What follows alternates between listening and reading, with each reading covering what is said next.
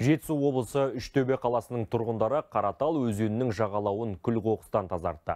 Аманат партиясының филиалы ұйымдастырған экологиялық акцияға 150-ден астам адам жұмылдырылған.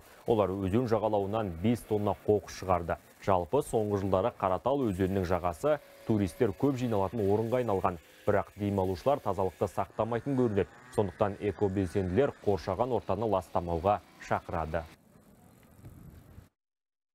Еліміздің тазалығы әрбір қазақстандықты міндетті деп ойлаймын. Елімізді халқымыз таза ұстаса деп шақырамын. Жалпы аудан бойынша таза қазақстан акциясы 11800 адам жұмылдырылды. 537 тонна қоқыс шығарылды.